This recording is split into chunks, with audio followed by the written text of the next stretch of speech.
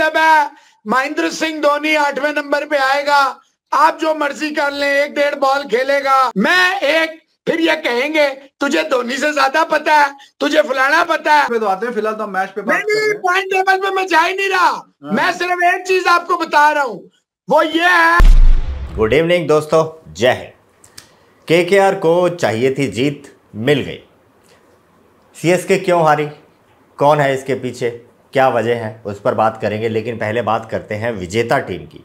तो CSK sorry KKR को जीत मिलने के साथ ही जान आ गई केकेआर में। सीएसके की सेहत पर कोई ज़्यादा बड़ा फ़र्क नहीं पड़ा है। फ़र्क पड़ता है। फ़र्क तो कहीं ना कहीं पड़ता है, लेकिन केकेआर को चाहिए थी जीत। प्ले ऑफ़ की रेस में अभी भी है केकेआर और सीएसके क्यों हारी? तो भाई किसको दोष दें? रहाणे, गायकवाड़, रायडू, किसको दोष दें? दोष दिया जाएगा सीधा सीधा एम एस धोनी को भाई। दो रन नाबाद लौटते हैं एम एस धोनी, आखिर क्यों? ज़रूरत क्या है? हर कोई बोल रहा है एक एक फ़ैन चीख चीख कर पुकार रहा है कि भाई ऊपर क्यों नहीं खेलते? अभी देखते हैं पाकिस्तानी मीडिया का कैसा रिएक्शन है आज के मैचेस पर। डबल हेडर था आज। जो है वो स्पॉइल कर दी गई है के के आर ने सी एस के की, उनके होम ग्राउंड पे। और आराम सुकून से कहेंगे कि चेज हो गया। और जबकि दो बैट्समैनों के पचास आ जाएँ तो फिर इतना बड़ा ये टोटल था नहीं कि इसको डिफेंड किया जा सकता। बहुत ही शानदार और बेहतरीन कैलकुलेटेड इनिंग्स खेली है। रिंकू सिंह ने खास करके और फिर Nitish Raina captain captain not out आया। रिंकू सिंह बस मैच ऑलमोस्ट खत्म हो गया था, तब जाके वो रन आउट हो गए बाहर आ गए। लेकिन Rinku Singh what a cricketer he is बहुत ही cool and calm like cucumber under pressure भी देखें कितने तगड़े शॉट्स खेले हैं उसने। अब ये मत देखें कि 40 42 गेंदों पे 50 किया तो चाहिए यही था। यहाँ पे 40 42 पे 80 नहीं चाहिए क्रिकेटर होता ही वो है कि अगर पाँच गेंदों पे पाँच छक्के चाहिए तो पाँच छक्के मारे। अगर पाँच गेंदों पे पाँच सिंगलें चाहिए तो टीम की रिक्वायरमेंट ये है तो उसको लेके चले।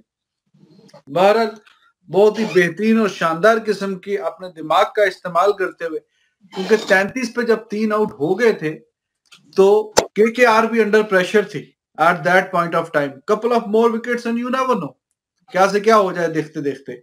हमने देखा कई बार क्रिकेट में। लेकिन वहाँ से बहुत ही शानदार किस्म की पार्टनरशिप आई है और उसने स्पिनर्स को भी बहुत अच्छे तरीके से खेला और फास्ट बॉलर्स को भी बहुत अच्छे तरीके से खेला। दोनों को। और फिर Nitish Rana he was amazing he got a life 18 run पे उसका कैच छूटा, जब मोइन अली को वो स्वीप करने के चक्कर में गेंद हवा में खड़ी हो गई। डीप में वो परिथाना भाई साहब नहीं पकड़ पाए। लेकिन उसके बाद उसने भी दोबारा मौका दिया नहीं।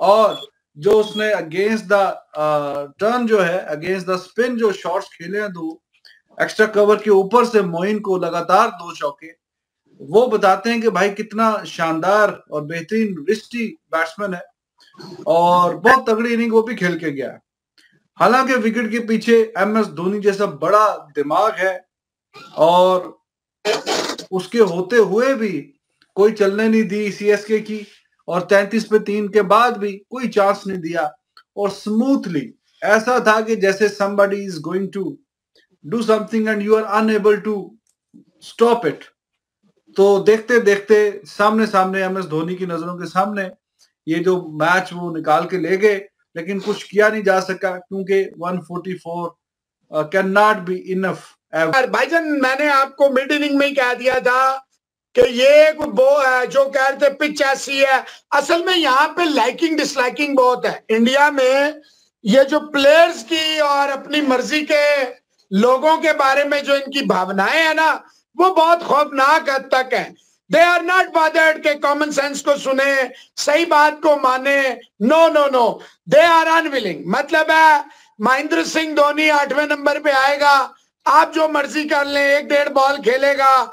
ये जडेजा टेस्ट मैच खेल रहा है, पूरा आईपीएल टेस्ट मैच खेला।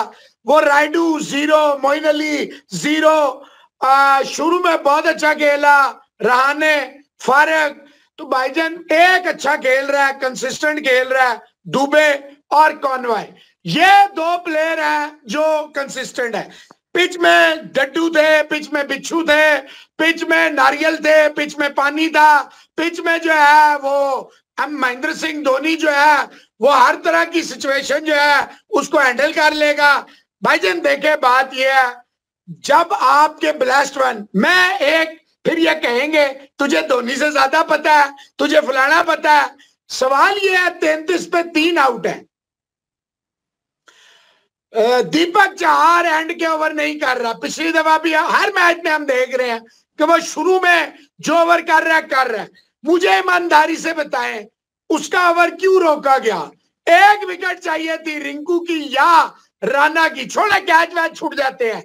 I am not Ramiz Raja वो यू ना होता तो वो होता। नो मुझे ये बताएँ, दीपक चार को क्यों रोके रखा गया? और ये जो पति राना है, इस पे आपका इतना ट्रस्ट है फ्रंट फुट नो बॉल ना sorry way side no ball दो वाइड का पंजा। मुझे ये बताया रिजवान हैदर साहब the most experience guy in C S K without a shadow of doubt is mister Deepak Chahar what are you going to do with that over of him मुझे बताएँ।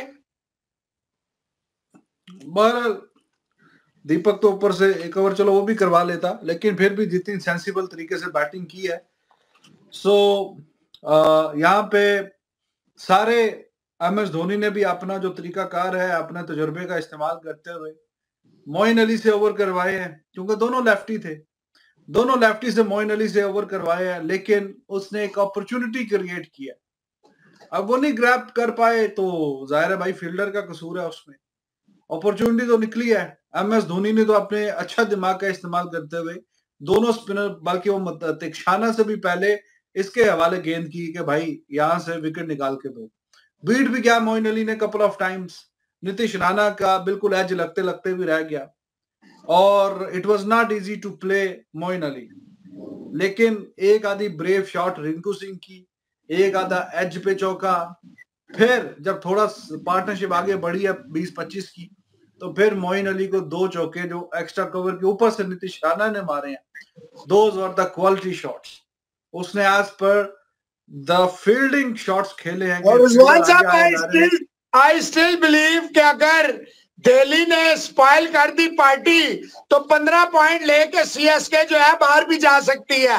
Now the situation has change change point table पे तो आते हैं फ़िलहाल तो match पे बात नहीं पॉइंट टेबल पे मैं जा ही नहीं रहा। हाँ। मैं सिर्फ़ एक चीज़ आपको बता रहा हूँ। वो ये है कि महेंद्र सिंह धोनी आखिरी मैच था जो घर में चिपुक में है। अब भाईजान इन्होंने दिल्ली जाना।